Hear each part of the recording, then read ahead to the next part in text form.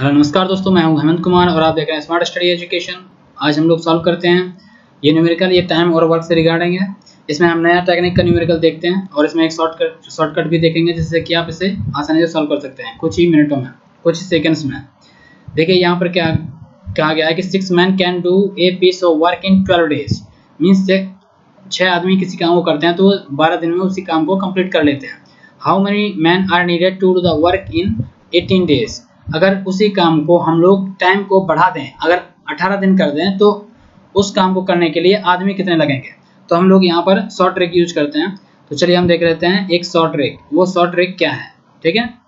तो हमारा short trick कुछ इस तरह से है कि हम लोगों को क्या करना है कि मैन इंटू डे का मल्टीप्लीकेशन करना है। ये कहता है M one into D one man into day equal to M two into D two जहाँ पर एम रिप्रेजेंट द मैन और डी रिप्रेजेंट करता है डेज़ को।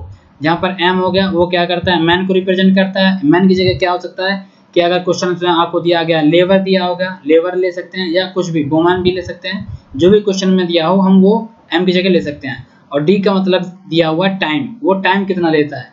अब टाइम आपका दिन में हो सकता है डेज़ में हो सकता है, या फिर मिनट में हो सकता है, ठीक है? और या सेकंड में हो सकता है, या फिर मंथ में हो सकता है, वो डिपेंड करता है। जो भी है, ठीक है? या फिर आवर में होता है, घंटे में हो सकता है तो हम लोगों को क्या करना है, इस शॉर्ट ट्रिक का यूज़ करके इस न्यूमेरिकल को सॉल्व कर सकते हैं।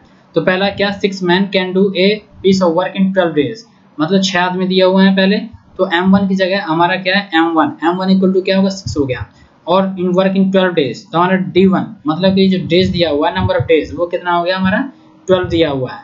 और क्या था? How many man are needed to the work in eighteen days means हमको क्वेश्चन में पूछा गया है, वो क्या? एम टू पूछा हुआ है।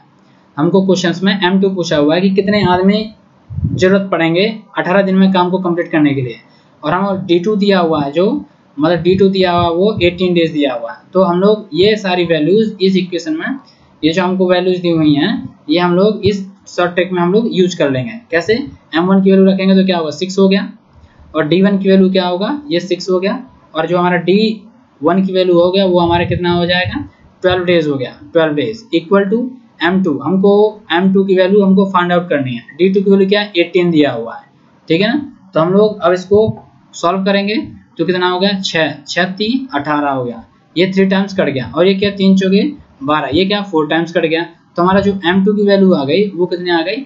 फोर मैन मतलब कि हमको 18 दिन में काम कंप्लीट करने के लिए चार आदमी की ज़रूरत पड़ेगी। फोर मैन की ज़रूरत पड़ेगी।